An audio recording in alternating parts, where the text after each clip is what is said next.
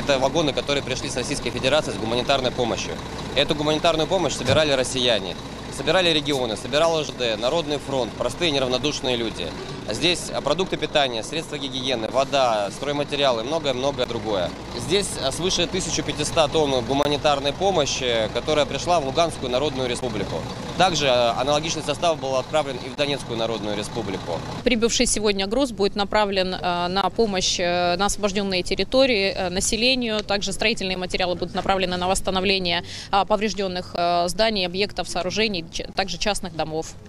Говорить о словах благодарности на самом деле э, очень сложно, потому что нет тех слов, которые жители Донбасса хотели бы направить в сторону Российской Федерации. Я смело могу сказать от всего народа Донбасса большое спасибо за поддержку, большое спасибо за оказываемую помощь.